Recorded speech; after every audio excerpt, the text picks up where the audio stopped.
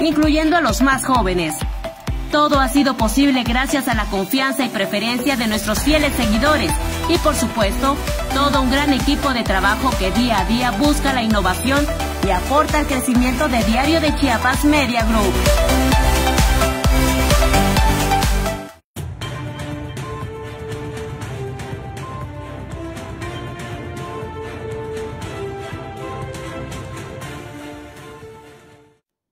Tal? ¿Cómo está? Muy buena noche, qué gusto saludarlo. Ya es jueves, son las 7 en punto. Soy Efraín Meneses, quédese con nosotros. Estamos en Chiapas al cierre, por supuesto, transmitiendo completamente en vivo desde Tuxtla Gutiérrez, la bella capital del estado de Chiapas. Qué bueno que ya está en sintonía con nosotros y que además nos ve por las redes sociales. Quédese los siguientes 60 minutos. Obviamente, como ya es costumbre, tenemos lo más importante en materia informativa de Chiapas, de México y el mundo. ¿Qué le parece si comenzamos? Porque lo que hoy es noticia, mañana es historia.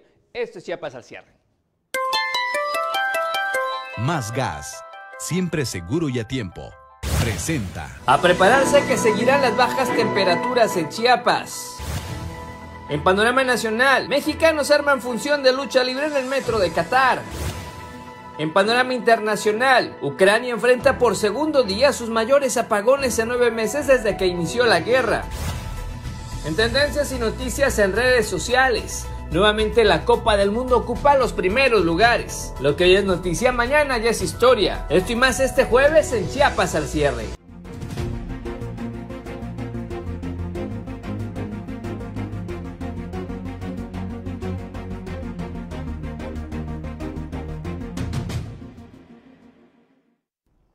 ¿Qué tal nuevamente? Muy buena noche, qué gusto saludarlos. Son las 7 con 2, ya estamos en Chiapas al cierre. Gracias por estarnos viendo, gracias por estarnos escuchando donde quiera que usted se encuentre. Qué bueno que nos elige, por supuesto, entre tantas oportunidades en materia informativa. La mejor es esta, de la mejor manera acá en Chiapas al cierre con su servidor Efren Meneses. Como siempre, un gusto, qué bueno que nos escucha, qué bueno que nos ve. Ya estamos en las redes sociales. Recuerde, por cierto, vamos a retuitear la cuenta en Twitter para que usted la ubique y la encuentre y puede hacernos llegar también sus comentarios. Es arroba Efren, no, perdón, arroba Diario de Chiapas y también arroba Efren Meneses, ahí nos puede ver. Claro, pues es que es la cuenta personal de su servidor, ahí nos etiquetan los amigos de producción y por supuesto ahí estamos. Vamos a verla y ya estamos al aire en Twitter para que usted nos pueda también retuitear y nos pueda compartir, por supuesto, en la cuenta personal del servidor arroba Efraín Meneses y la cuenta del diario arroba Diario de Chiapas. Estamos en TikTok también, la cuenta de Diario de Chiapas,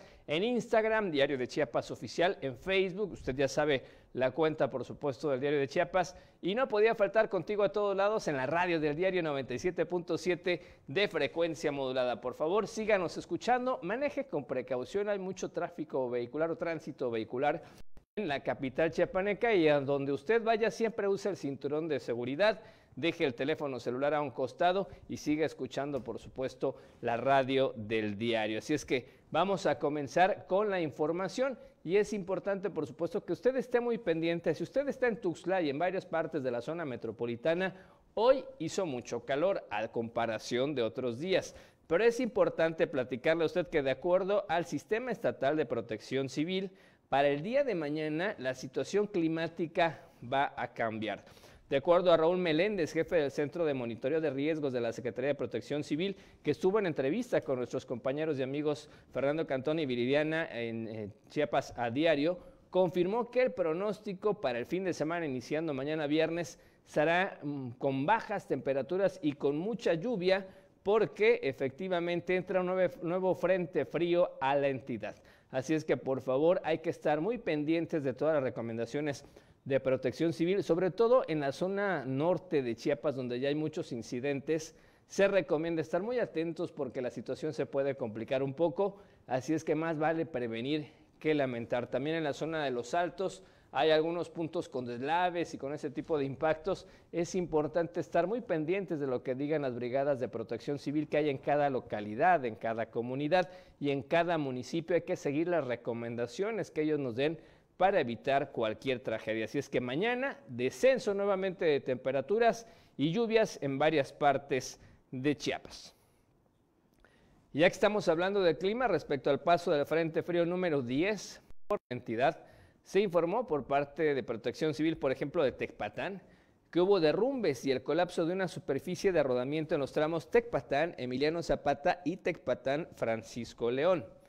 En Francisco León, Protección Civil, en coordinación con Obras Públicas Municipal, ya realiza trabajos de atención con la limpieza y desasolve en subtramos de la carretera Tecpatán, Mezcalapa, Francisco León y el puente Vado de Río Carrizal. El Comité Comunitario de Protección Civil del ejido Nuevo Poblado Llanos Morelos, del municipio también de Ixtapangajoy, allá en la zona norte, reporta que de manera preliminar se tienen afectaciones en encharcamientos de hasta 40 centímetros en varias viviendas.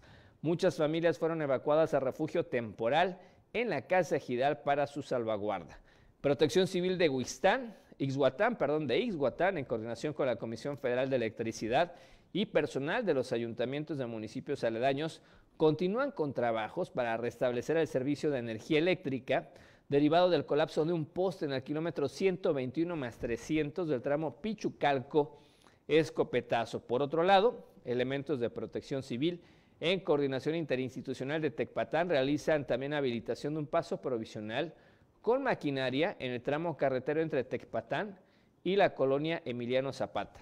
En Pichucalco también se realizan trabajos de atención por la remoción de material forestal y flujo de lodo en el tramo eh, carretero Pichucalco-Escopetazo del kilómetro 111 y también se brinda atención a población por inundación en las calles 5 de Mayo e Independencia Parte Baja y en la colonia Caimba por arrastre de material pétreo en la cabecera municipal.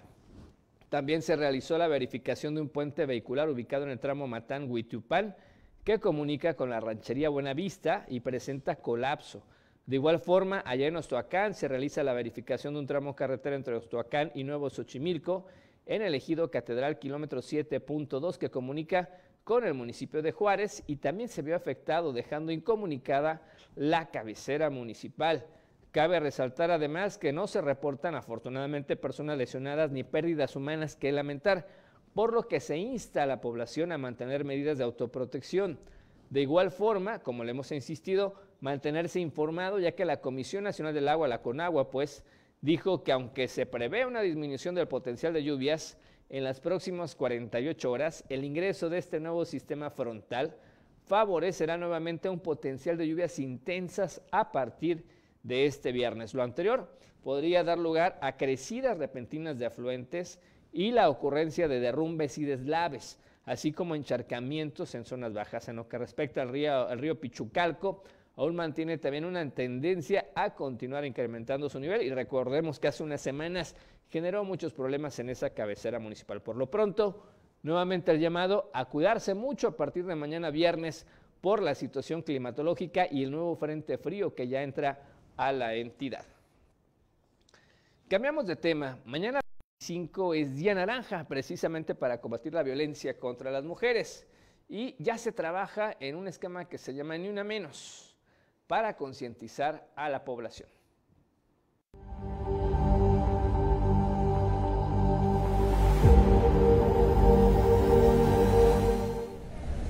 En el marco del 25 de noviembre, el Día Mundial contra la Eliminación de la Violencia hacia las Mujeres, colectivas feministas del Estado se unieron para mandar un mensaje de concientización a la población. En el marco del Día Internacional de la Lucha contra la Eliminación de la Violencia contra las Mujeres, colectivas feministas se reunieron para realizar un video a fin de concientizar a la población acerca de la problemática de los feminicidios en la entidad. Tere Campos, activista de la colectiva Brujas Violeta, declaró que ante el aumento que se ha dado en torno a este crimen de odio contra las mujeres, es urgente que las autoridades volteen a ver las necesidades de las chiapanecas.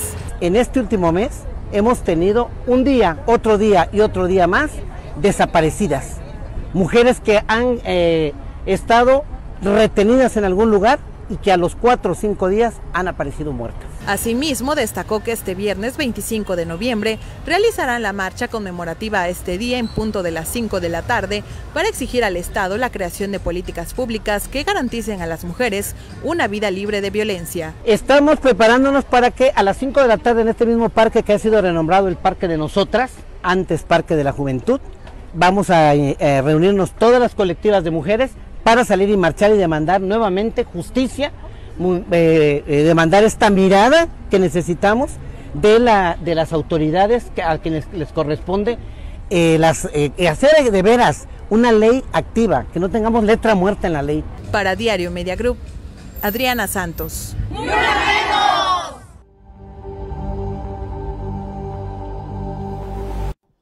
Así es, ni una menos, y es que todos debemos entender la gravedad de esta situación que se está viviendo, que están viviendo muchas mujeres en el Estado y en el país. Todos debemos ser partícipes, por supuesto, de esta concientización, de este trabajo para una nueva cultura, una nueva sociedad. Y cambiamos de tema, vamos a otra situación que también tiene que ver con derechos humanos, porque la Secretaría de Gobernación, a través del Consejo Nacional para Prevenir la Discriminación, el CONAPRED, pues, y la Comisión Mexicana de Ayuda a Refugiados, la COMAR, con la Agencia de las Naciones Unidas para los Refugiados, la ACNUR y el Fondo de las Naciones Unidas para la Infancia, la UNICEF, además de la Organización Internacional para las Migraciones, ya trabajan en conjunto para fomentar el respeto a los derechos humanos, a la igualdad y la no discriminación a través de diferentes jornadas por la inclusión y la no discriminación que se realizarán allá en Tapachula, se pretende hacer visible la realidad que las personas migrantes solicitantes de reconocimiento de la condición de refugio y refugiada se enfrentan a diario para así prevenir y eliminar todo tipo de prácticas de discriminación, incluyendo la xenofobia a su paso y durante su estancia en el país. Fomentar una convivencia sin prejuicios y estereotipos a través de la valoración de las diversidades y sus aportes a la vida social, cultural y económica del país es uno de los principales objetivos. La sede de estas jornadas es Tapachula, una de las principales ciudades receptoras de personas migrantes, solicitantes de reconocimiento de la condición de refugio y o refugiadas en el sur de México y en donde se presenta lamentablemente el mayor número de solicitudes de asilo a nivel nacional. Dentro de las actividades están contemplados talleres contra el perfilamiento racial dirigido a autoridades de seguridad por la inclusión y no discriminación en el que está convocada la comunidad local, entre otros espacios a los que también están llamadas organizaciones y especialistas. Ante esta realidad es necesario brindar protección a todas las personas y promover prácticas de inclusión y respeto con la premisa de que migrar es un derecho humano y es que en los últimos años recordemos que en México se ha registrado un aumento en el arribo de personas migrantes y refugiados en todo, de todos los continentes y en su mayoría de origen centroamericano. Y vamos a una noticia lamentable, pero obviamente nos ocupa a todos y es que hubo un fuerte accidente en la carretera Ocosocuautla-Arriaga el día de hoy y nuestro compañero corresponsal Marcos Ramos ya tiene la información. Marcos, buenas noches, ¿cómo estás? Te escuchamos, adelante por favor. Gracias, compañero. Muy buenas noches. Gracias a toda la gente de Chiapas. Efectivamente, la mañana de este jueves, sobre la carretera de Paga, Coitarriaga, se registró un aparatoso accidente automovilístico, el mismo que dejó como resultado dos personas sin vida. De acuerdo con los datos obtenidos minutos antes de las 7 de la mañana, se tuvo conocimiento que a la altura del kilómetro 29 de la citada vía se habían accidentado de forma lateral una camioneta de la Guardia Nacional contra una particular en la que viajaban cinco personas. Una vez que 911 tuvo conocimiento de los hechos, inmediatamente activó a las corporaciones de socorro, protección civil y Cruz Roja, quienes se trasladaron al lugar para brindar los primeros auxilios y llevar a los lesionados al hospital más cercano, que fue a Cintalapa. Se sabe que la camioneta de la Corporación Federal había salido de Chapa de Corzo y su destino era Arriaga, mientras que la camioneta particular había salido de Arriaga y su destino era la capital del estado. Datos confirmaron que los heridos de la unidad particular son Leonardo y Gisela, originarios del municipio de Arriaga, que fueron internados en el hospital de Cintalapa, como ya se dijo. Y de la camioneta de la guardia se sabe que fueron cuatro los lesionados, que fueron llevados al mismo nosocomio y después se supo que el conductor de esa unidad se dio a la fuga. Desgraciadamente en el lugar quedaron dos personas sin vida, las mismas que respondían a los nombres de Moisés y Diego, siendo el segundo citado un menor de edad, quienes fueron trasladados al servicio médico forense de este municipio Chimbombo, donde se continuaría con el protocolo. Con relación a lo sucedido, no se sabe con exactitud qué vehículo fue el que invadió carril y provocó el percance, por lo que será la autoridad competente la que se encargue de investigar para deslindar responsabilidades. Fue lo que sucedió, compañero, la mañana de este jueves acá en la región Valle, específicamente en el municipio de Iquipilas, donde desgraciadamente la invasión de carril contrario derivaron esta desgracia. Pues lamentable noticia, Marco, sobre todo pierde la vida un abuelito y su nieto de ocho años qué tragedia y ojalá obviamente se dé con los responsables. Llama la atención que se dio la fuga quien iba manejando la unidad de la Guardia Nacional. Presumiblemente se dice que él sería el responsable, pero vamos a esperar. Gracias Marcos, muy amable. Buenas noches. Buenas noches.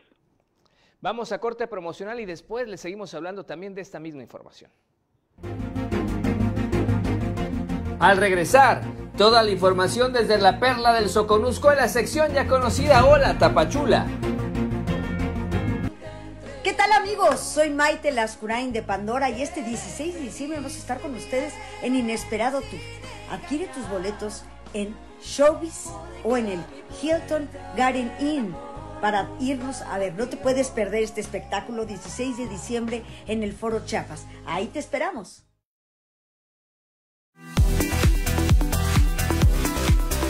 Somos prensa. Somos radio. Somos multimedia. Somos la plataforma más completa del sureste. Somos Diario de Chiapas. Libérate de las barreras que te impiden moverte. Libérate del exceso de celular y del clásico el lunes empiezo. Y escuches a voz dentro de ti que te dice, libérate. Cuando te activas, te liberas. Actívate 30 minutos 5 días de tu semana. Conoce más en libérate.mx. Consejo de la Comunicación, voz de las empresas.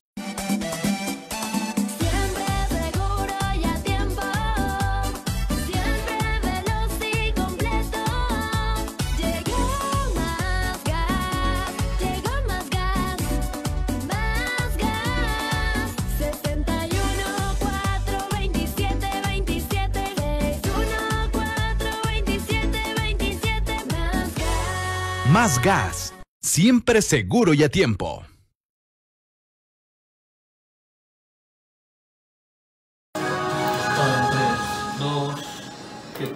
¿Qué tal? ¿Cómo están? Muy buenas tardes.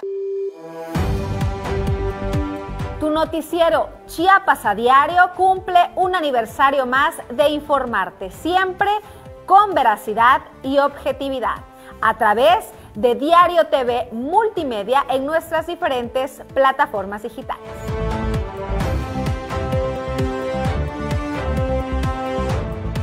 Hemos estado compartiéndote los sucesos que marcan a nuestra entidad y la nación y queremos seguir contigo en todos lados.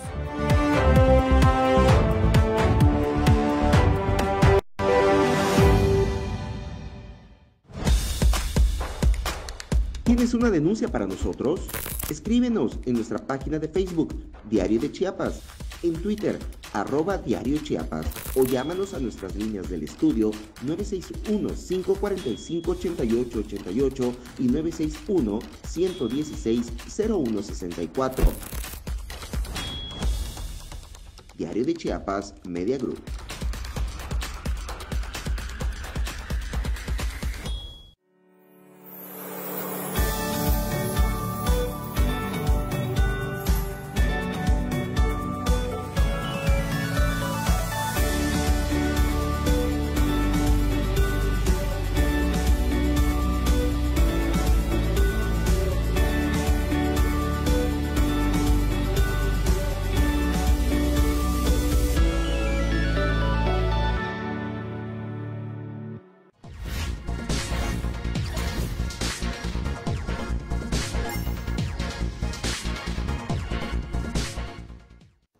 Gracias por continuar con nosotros en Chiapas al cierre. Y antes de irnos a promocionar le platicábamos de este lamentable accidente que ocurrió hoy en el tramo carretero entre Ocosocuautla y Arriaga. Y resulta que en esta información ya se identificó al conductor que presuntamente provocó este accidente y se dio a la fuga, donde lamentablemente se causó la muerte de una persona, como le decíamos, de la tercera edad y de un niño, dejando además un lesionado todos originarios de Arriaga. Se pide aplicar todo el peso de la ley para el sargento segundo, que era el conductor de la unidad de la Guardia Nacional, Miguel Ángel Rendón Mejía, quien manejaba, le decíamos, esta camioneta. Los familiares están exigiendo todo el peso de la ley para que sea puesto a disposición de las autoridades competentes y lleve su debido proceso como presunto culpable de los hechos que se le señalan confiando en el gobernador del estado y en el fiscal del estado, Olaf Gómez Hernández, por esta lamentable tragedia. Aparentemente el vehículo de la Guardia Nacional fue el que invadió carril, chocó de frente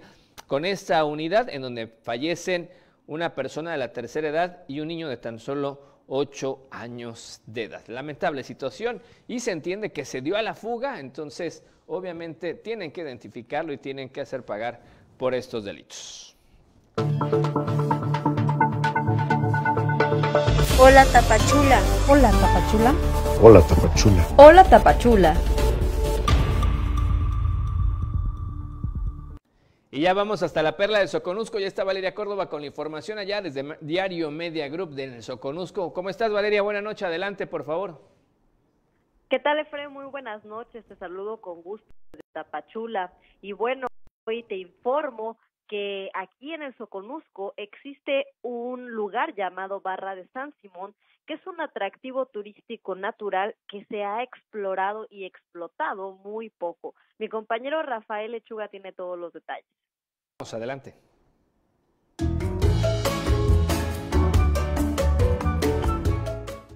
Propietarios de palapas y restaurantes en la costa de Chiapas se preparan para recibir a turistas de diferentes partes de la República Mexicana y de Guatemala. Piden a los visitantes recorrer las barras y manglares, los cuales son poco explorados por los turistas. En San Simón pueden encontrar gran variedad de productos eh, enfocados en marisco más que nada. Eh, y como tú comentabas, en la preparación pues ya estamos, este, eh, lo que empezamos con la limpieza de las playas, eh, en las playas también muchas veces, bueno, la mayoría de las palapas o negocios que ponen la, la, comunidad son de manera provisional y en esos momentos pues ya se empiezan a, a hacer partícipe las construcciones de esas palapas que son provisionales únicamente en la playa. Señalan que en la barra San Simón hay una serie de atractivos naturales que muy pocos conocen, lleno de playas, palmeras y gastronomía. Hay muchas personas que ni siquiera conocen o no ubican dónde está Mazatán y, o llegan a Mazatán y buscan otros lugares o no saben que hay unas playas para acá. Pues sí, la verdad está muy, muy, este, muy sin explotar y sin embargo hay mucha mucha este, demanda por parte de la, de, la población que pueden eh, ofrecer un, un, excelente servicio o que pueden ofrecerte algo. Explicaron que esperan reactivar la economía en la región, por lo que piden a los visitantes explorar las barras del litoral chiapaneco. Desde Diario TV Multimedia Tapachula, Rafael Lechuga.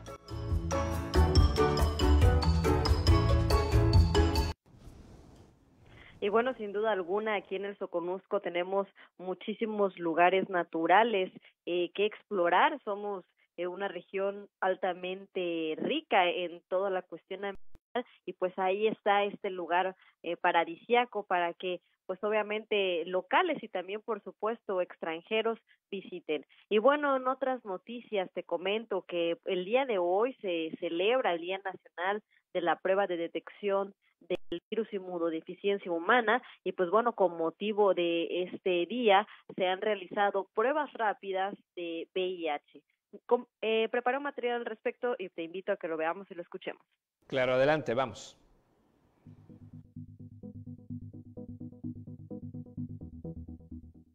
En el marco del Día Nacional de la Prueba de Detección del Virus de Inmunodeficiencia Humana, la Asociación Civil Una Mano Amiga en la lucha contra el SIDA llevó a cabo pruebas rápidas de VIH en Tapachula.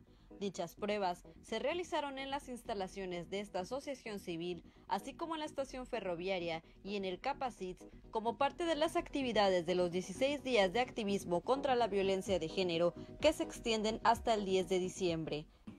Eh, ¿Cuál es la finalidad de esto? La finalidad es precisamente promover la prueba rápida del VIH, así como de las infecciones de transmisión sexual, con el énfasis de que las personas que no sepan su diagnóstico o que hayan tenido alguna situación de riesgo o se sientan en, riesgo, puedan acudir a realizarse estas pruebas. Rosenberg López Amayoa, presidente de Una Mano Amiga, también mencionó que es importante que se involucren otros sectores para fomentar la educación sexual. Son los jóvenes que ahora están precisamente en mayor vulnerabilidad de adquirir VIH o de alguna infección y por lo tanto es también como una preocupación de la Secretaría de Salud que se involucren otros sectores, otros sectores como por ejemplo algo muy importante que debe de involucrarse es la Secretaría de Educación dentro de sus niveles, tanto municipal, estatal y federal. Desde Diario TV Multimedia Tapachula, Valeria Córdoba.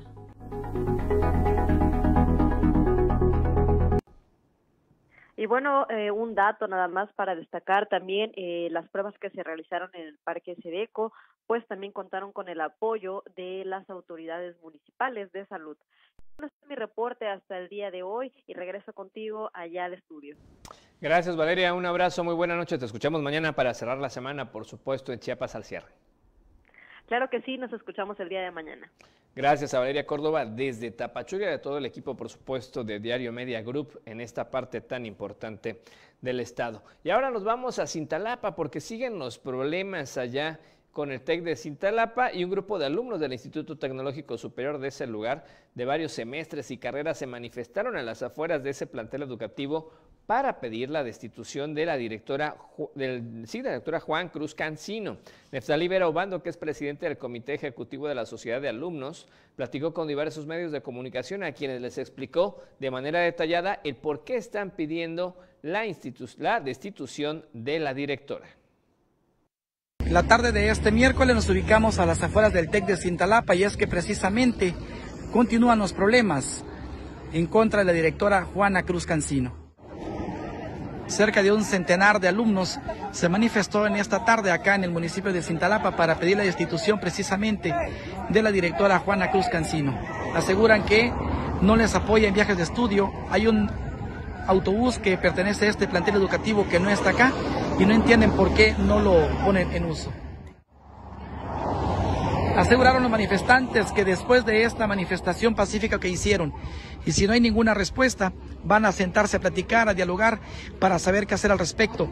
Pero lo que sí están pidiendo a la autoridad federal educativa es la destitución de esta directora. También colocaron esta otra lona donde piden la destitución de la referida de la directora, la maestra Juana Cruz Cancino, para que pues, nosotros como alumnos podamos gozar de algunos de los beneficios como parte de las instrucciones que pagamos en su momento para que se hagan, seamos partícipes de los beneficios que nosotros podemos tener como alumnos. ¿Ya mostró la directora alguna forma de comunicación con ustedes al día de hoy? Hasta el día de hoy, como presidente y como parte del, del Comité Ejecutivo de la Sociedad de Alumnos. Bien, y vamos a más información temas educativos y vea que sea Unicach podría irse a huelga. La Universidad de Ciencias y Artes de Chiapas enfrenta de nuevo la posibilidad de que haya otra huelga, esta vez por parte del Sindicato de Empleados Administrativos, con quienes la Rectoría no ha logrado acuerdos luego de 16 mesas de negociación. Todavía no se llegan a acuerdos, vemos que el tiempo pasa, y sí vemos una necedad por parte de ellos o en cierta forma también de imposición de no negociar, sino de quedar lo que ellos nada más dicen. ¿no? Dentro del plan de emplazamiento a huelga nosotros pedimos un 8% a prestaciones y un 15%, perdón, un 8% al salario y 15% a prestaciones. Sin embargo, como comité ejecutivo del sindicato y la comisión revisora, estamos muy conscientes de la situación financiera que atraviesa la universidad. Lo que nosotros proponemos tampoco quiere decir que a la fuerza el sindicato está peleando por eso, sino llegar a un acuerdo armonioso en beneficio de la base trabajadora. Recordemos que es un derecho como sindicatos el nosotros poner la, la fecha de estallamiento a huelga apegado a la legalidad en el juzgado laboral y estamos en ese proceso. Según el comité ejecutivo del CEUNICACH, de no lograrse la negociación, unos 400 trabajadores administrativos de esta casa de estudios van a comenzar la huelga, afectando a ocho sedes de la UNICACH en el estado. Para Diario Media Group, Marco Antonio Alvarado. Y con esta información vamos a promocionar el segundo corte de esta noche y regresamos con más en Chiapas al cierre. ¿Qué tal? ¿Cómo están? Muy buenas tardes. Tu noticiero Chiapas a diario cumple un aniversario más de informarte, siempre con veracidad y objetividad, a través de Diario TV Multimedia en nuestras diferentes plataformas digitales.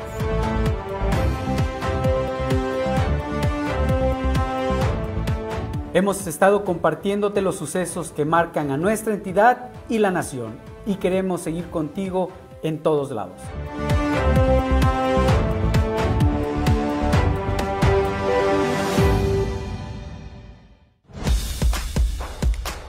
¿Tienes una denuncia para nosotros? Escríbenos en nuestra página de Facebook, Diario de Chiapas, en Twitter, arroba diario Chiapas o llámanos a nuestras líneas del estudio 961-545-8888 y 961-116-0164. Diario de Chiapas Media Group.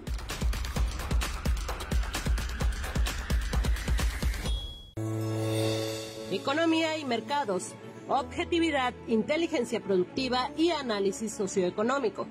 Y por sobre cualquier diferencia estemos unidos mexicanos. Martes y jueves por Diario de Chiapas.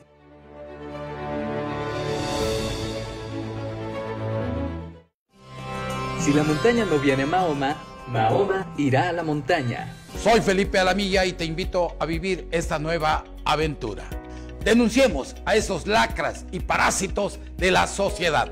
Estaremos a través de la plataforma de la Torre Digital del Diario de Chiapas y de la 97.7 FM. Espéranos en tu colonia. Y recuerda que denunciar es un derecho y una obligación. No se dejen.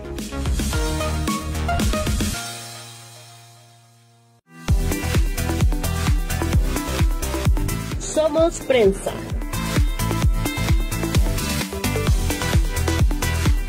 Somos radio. Somos multimedia. Somos la plataforma más completa del sureste. Somos Diario de Chiapas. Cuando descubres eso que te mueve, nada te detiene. Porque es bien chido encontrar nuevas formas de explotar tu curiosidad. Qué chido es bailar con tu música favorita. Qué chido es echar la reta en familia. Qué chido es convivir con tu familia y que te escuchen. Lo que no está chido es beber alcohol siendo menor de edad. Consejo de la Comunicación, voz de las empresas. Las noticias impactan, sorprenden y fluyen rápidamente. Desde temprano siempre en busca de la verdad. AM Diario. Mi nombre es Lucero Rodríguez Ovilla. Les doy la bienvenida a 8 en punto de la mañana en AM Diario. Noticias cercanas a la gente. AM Diario.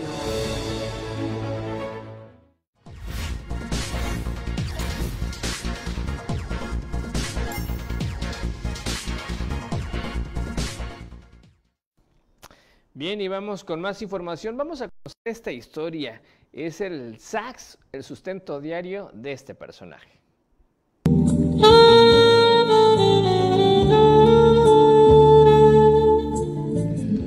Hugo Escobar es originario de la localidad de Copolla. A través de los años y de manera empírica, adquirió las habilidades para tocar diversos instrumentos, principalmente el saxofón, el cual hoy por hoy le brinda la oportunidad de ganarse la vida. Haciendo un recorrido en la ciudad de capital y visitando una colonia por día, aproximadamente son cuatro horas en el que él toca y un compañero recauda dinero para todos aquellos que se deleitan con diversas melodías desde su casa. La jornada puede variar dependiendo el transporte y dependiendo la situación de cómo se encuentra el día. Sin embargo, es aproximadamente a las 8 o 9 de la mañana cuando arriba a la ciudad capital y define a qué colonia irá a realizar estos mini conciertos que consisten entre una o dos piezas por calle y con ello, pues pedir el apoyo y ganarse el día a día. Estamos trabajando y dando a conocer un poco de música este, instrumental, algo, algo romántico. Lo manejamos como una forma de trabajo quizá, este, donde nos podemos dar a conocer también. Eh, sería una colonia por día. Por día. ¿Cuántas eh, canciones tocas al día más o menos? Eh, son variables, ah, puede ser este, unas 40, 30. Eh, sí, trabajamos en eventos particulares. Afirmó que esto es una oportunidad de trabajo, es decir, su oficina son las calles de la capital chiapaneca. Además de esto, puede realizar representaciones en eventos sociales o privados, considerando que tiene un gran repertorio y que podría atender la necesidad de cada uno de los eventos, por lo que dijo siempre estar atento y a la orden de la ciudadanía en el teléfono 961 202 42 07. El sax, su sustento diario, afirmó Hugo Escobar. Para Diario Media Group, Eden Gómez.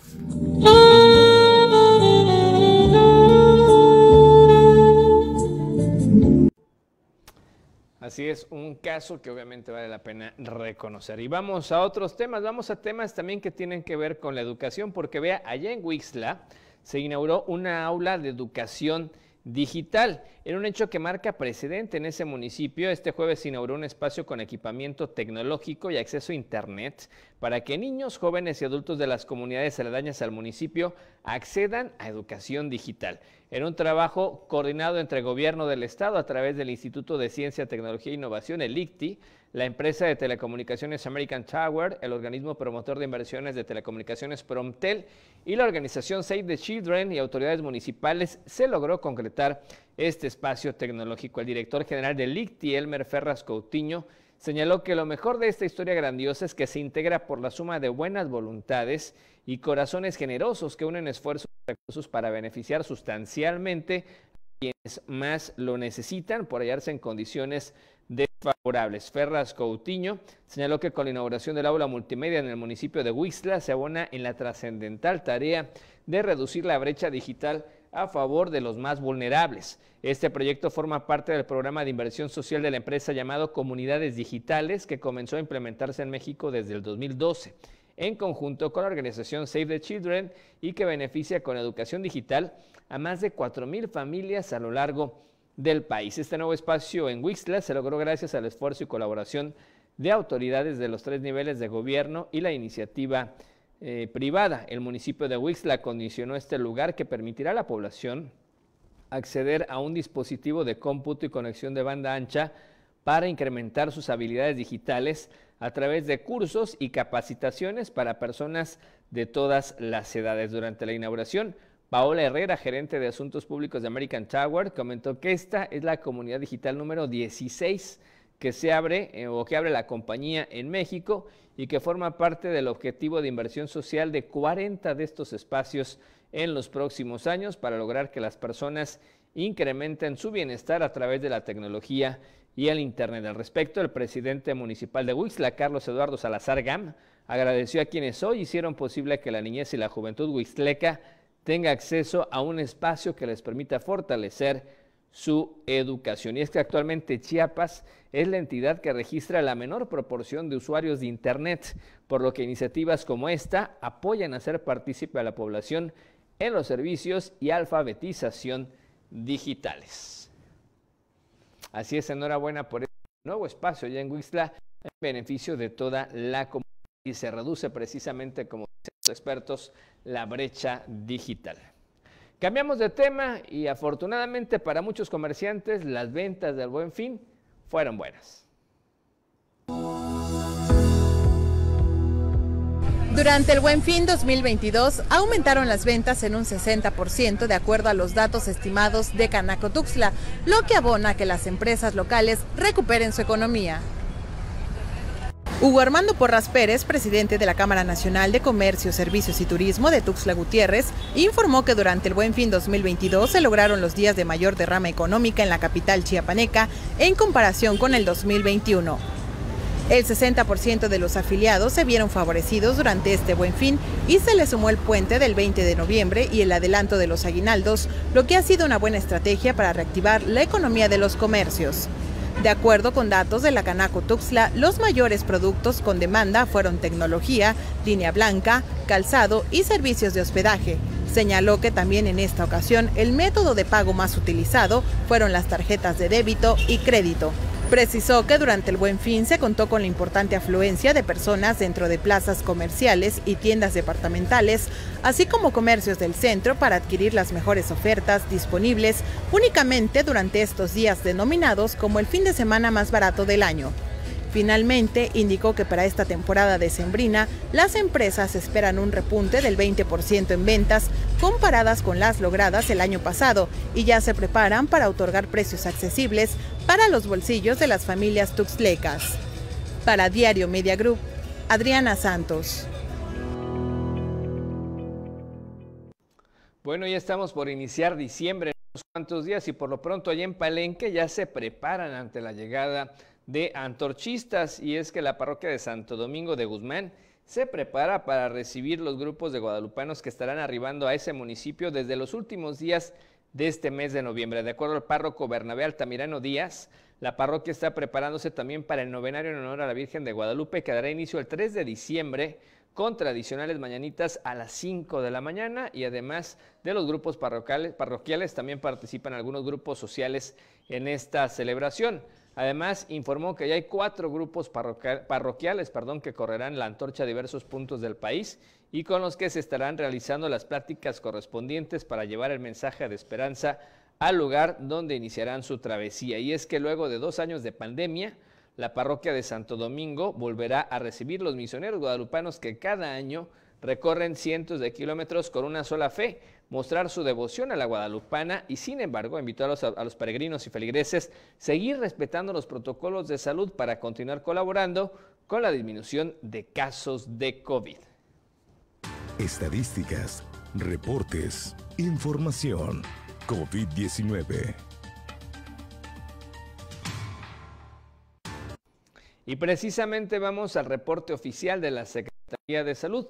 El panorama epidemiológico del día de hoy, de las últimas horas, arroja la identificación de seis casos en tres municipios de Chiapas. Estamos hablando tres en Tapachula, dos en Tuxtla Gutiérrez y uno más en Mazatán. Se trata de cinco personas del sexo femenino, entre ellas una embarazada, y una del sexo masculino, cuya edad oscila entre los 25 y los 64 años de edad. Del total de pacientes, la mayoría presenta comorbilidades, asma, diabetes o hipertensión. Este jueves, escuche usted, Chiapas cumple mil días de haber reportado el primer caso de COVID-19, luego de haberse originado cinco olas de contagios de esta enfermedad. Afortunadamente, la entidad continúa registrando la tasa más baja en número de casos y también de defunciones. Por lo anterior, la Comisión de Salud del Senado de la República, recordemos que hizo en octubre pasado un público reconocimiento a las y los trabajadores de la Secretaría de Salud de Chiapas por los incansables esfuerzos para combatir la pandemia de COVID-19. Actualmente la ocupación hospitalaria por esta enfermedad respiratoria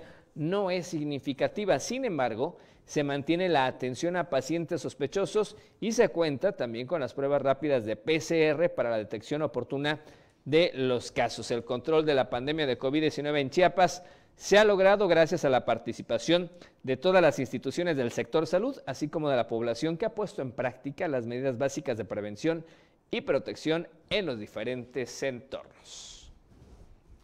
Y bueno, ¿qué le parece si le recordamos a usted la pregunta que tenemos vigente esta semana? La encuesta, participe con nosotros, lo puede hacer en Twitter de manera muy sencilla. ¿Qué le parece si vemos cuál es la opción esta noche?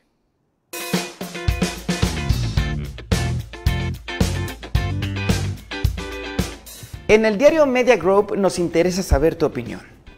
La pregunta de esta semana es, ¿estás a favor o en contra de la marcha de AMLO el próximo 27 de noviembre?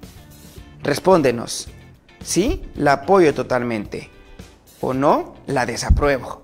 O simplemente no te interesa. Vota a través de nuestra cuenta de Twitter, arroba Diario Chiapas. Participa, comenta y comparte.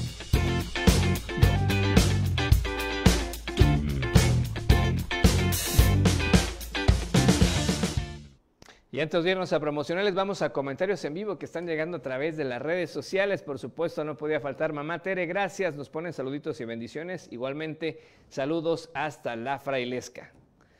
Jorgito Ruiz Serrano no podía faltar, también es otro de los amigos que siempre nos ve. Un fuerte abrazo desde Ocosingo. Gracias por mantenernos informados. Gracias, Jorgito, por siempre vernos y también por los comentarios para que este espacio siga mejorando. Gracias. Obviamente el amigo Cecilio Candelaria nos pone saludos, amigo Efraín Meneses. Cecilio, un abrazo también de vuelta. Y él estuvo festejando su cumpleaños y además el Día del Músico hace un par de días. Un abrazo enorme. Y también saludos a Nini Mezquinca, dice saluditos a todo el equipo de Chiapas al cierre, feliz noche. Gracias Nínive, igualmente feliz noche para ti y para toda la familia. Y con esto vamos a promocionarles el tercer corte de esta noche. Regresamos con más en Chiapas al cierre. Es bien chido encontrar nuevas formas de alimentar la curiosidad de tu hijo. Qué chido conocer sus intereses. Qué chido es echar la red en familia. Qué chido es hablar con tus hijos y conocer todo eso que les da curiosidad. Lo que no está chido es que un menor de edad beba alcohol. Consejo de la Comunicación, voz de las empresas. Si la montaña no viene a Mahoma, Mahoma irá a la montaña. Soy Felipe Alamilla y te invito a vivir esta nueva aventura. Denunciemos a esos lacras y parásitos de la sociedad. Estaremos a través de la plataforma de la Torre Digital del Diario de Chiapas y de la 97.7 FM. Espéranos en tu colonia. Y recuerda que denunciar es un derecho y una obligación. No se dejen.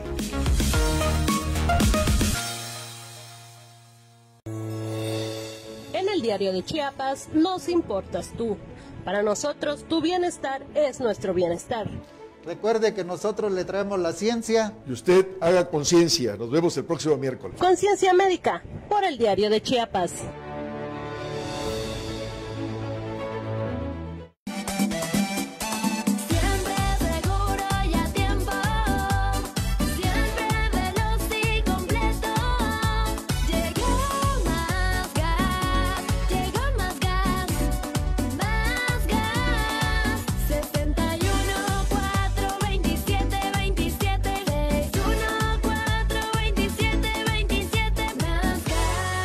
Gas, siempre seguro y a tiempo.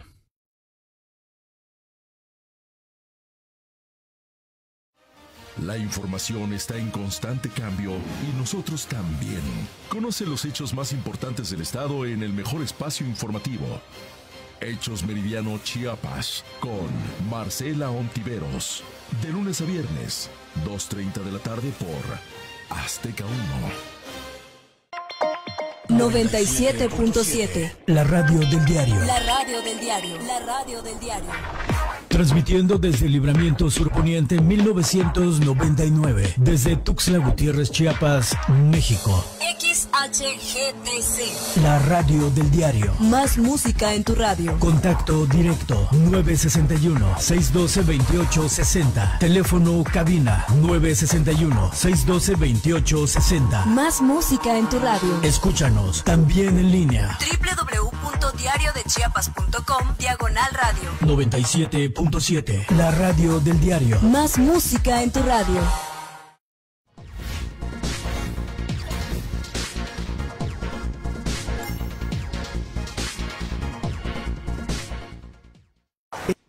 Vamos a la información de la nota roja. Lo que acontece minuto a minuto. La Roja, de Diario de Chiapas.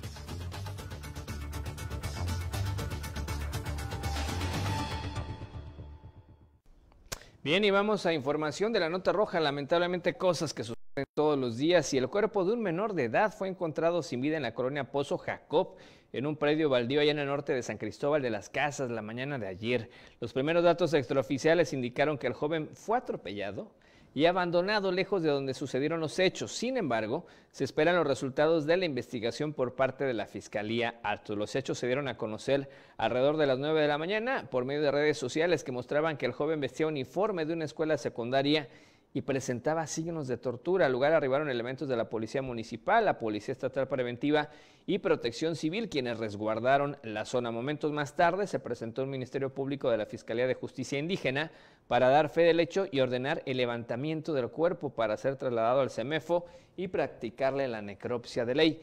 El cuerpo del hoyo oxiso fue reconocido por su abuelo, quien dijo que su nieto respondía el nombre de Josuan, de tan solo 15 años de edad. Y bueno, la noche de ayer miércoles resulta que personal de protección en Cintalapa le brindó auxilio a una persona del sexo femenino. Resulta que al estar en su parcela, la señora fue atacada por una serpiente y tuvo que ser hospitalizada de manera urgente.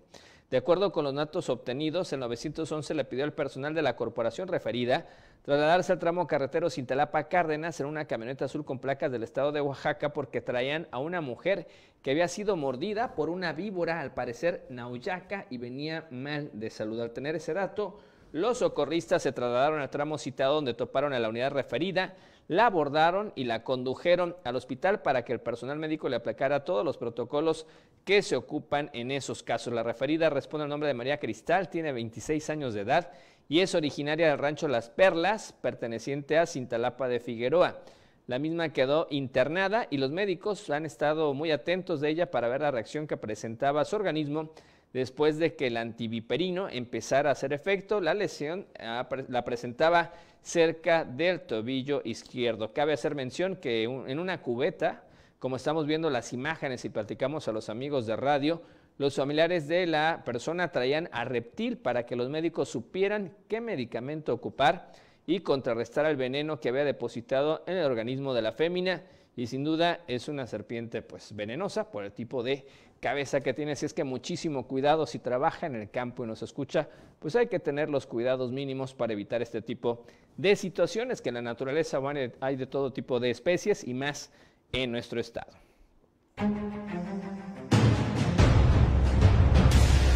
Nacional.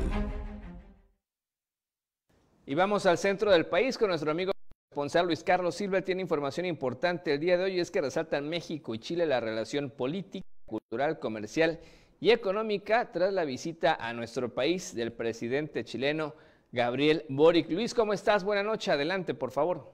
Gracias, con el gusto de saludarte, estimadísimo Fren, amigos del auditorio. México y Chile son socios comerciales, amigos y naciones en desarrollo, así lo establecieron durante la visita del presidente chileno a nuestro país.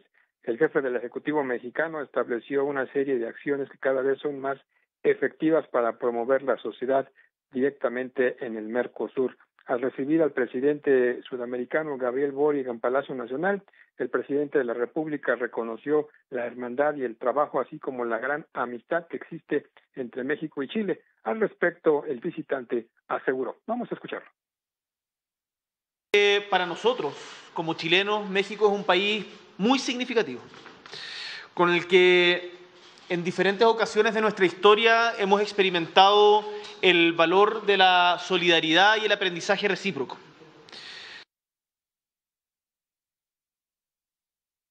De esta manera, Efren Auditorio, ante sus respectivas comitivas y esposas, ambos presidentes reconocieron la importancia de que México y Chile sean hoy no solamente socios, sino actores importantes del acontecer nacional. En su oportunidad, el presidente de la República recordó que la cuarta transformación, en la, cual él encabeza, forma parte de una nueva manera de hacer política en América Latina. Si te parece, vamos a escuchar cómo lo planteó el presidente de México. Y se logró la transformación por la vía pacífica. ¿Cómo lo pensaba y lo llevó a la práctica el presidente Allende. Entonces, esa enseñanza mayor es muy importante, sí se puede. Estimadísimo Fred, mi reporte, gracias y muy buenas noches. Gracias Luis, un abrazo, muy buena noche y efectivamente qué bueno que se siguen estrechando lazos con otros países en todo Centroamérica. Un abrazo, te escuchamos mañana para cerrar la semana juntos. Con todo gusto, buenas noches. Gracias a Luis Carlos Silva desde el centro del país. Ya que estamos hablando de información nacional, vea, el secretario de Gobernación de Gobierno de México, Adán Augusto López Hernández, justificó en palabras del presidente de la República, Manuel López Obrador, que la marcha realizada este próximo domingo 27 de noviembre aclararon no es una movilización para atacar o contrarrestar la manifestación de aquellos que se oponen a la reforma electoral y que alzaron la voz para defender al INE. En su regreso a Sinaloa, invitado al festejo del 105 aniversario de la Concanaco Servitur México, realizado allí en Mazatlán, el funcionario federal argumentó que la marcha convocada por AMLO es meramente informativa, para dar a conocer los resultados de otro año de gobierno en lo que denominan cuarta T, por lo que negó que tenga otra intención para dejar en mal a los que están en contra de la reforma electoral. Escuchemos.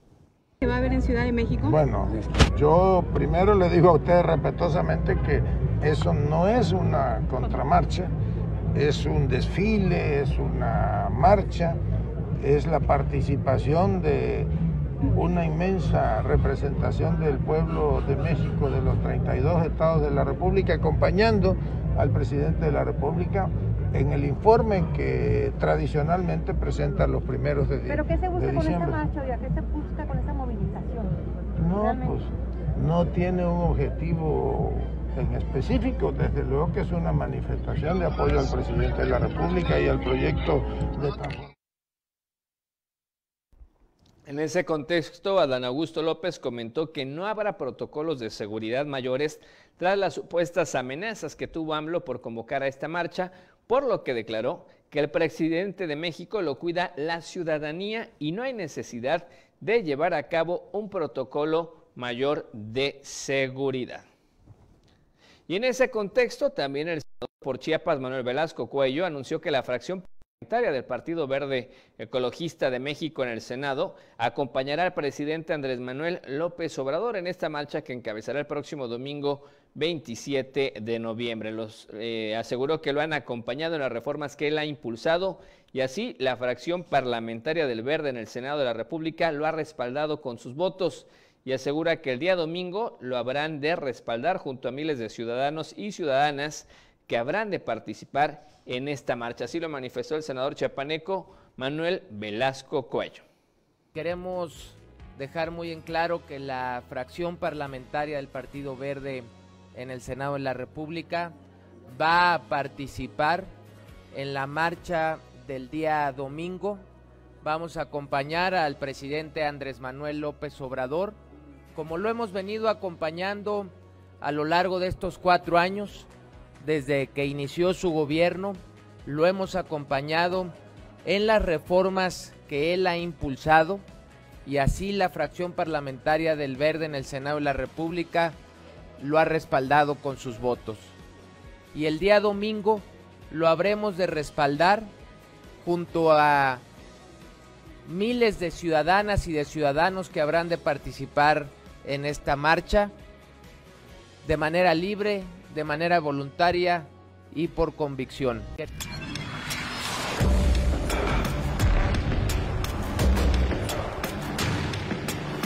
Internacional.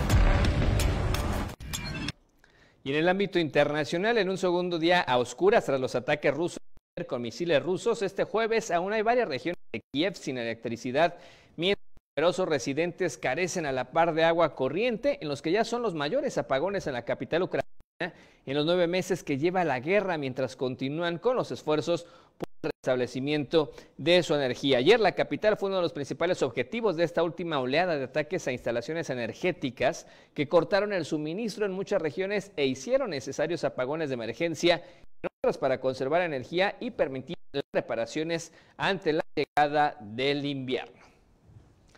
Con esta información nos vamos. Gracias a usted por habernos acompañado el día de hoy. Lo esperamos mañana, primero Dios, 7 de la noche para cerrar la semana juntos acá en Chiapas al cierre. Soy Efraín Meneses. Mientras disfrute el resto de la noche de este jueves, como usted ya sabe y como tiene que ser, de la mejor manera.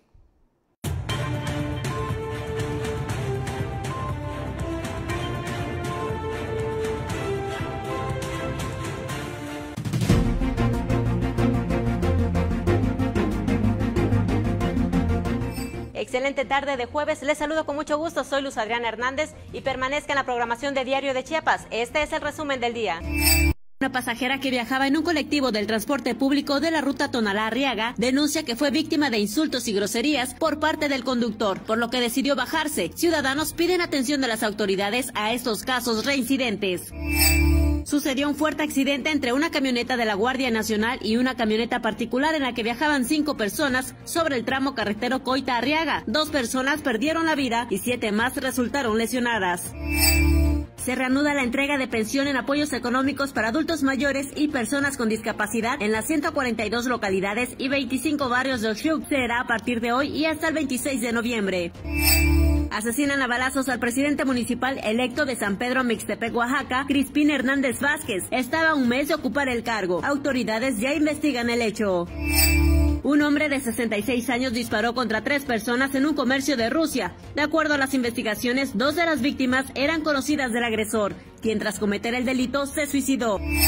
Fallece el boxeador mexicano Moisés Fuentes a consecuencia de las complicaciones de salud que le dejó el knockout que sufrió en octubre del 2021 en la pelea contra David Cuellar en redes. Seguidores de Argentina y México protagonizaron violentos incidentes en Doha, Qatar, a días del partido clave para la selección. La riña dejó como saldo a personas con heridas leves y según trascendió, las autoridades no intervinieron para detener la pelea. Gracias por haberme acompañado, soy Luz Adriana Hernández y lo veo mañana con mucha más información.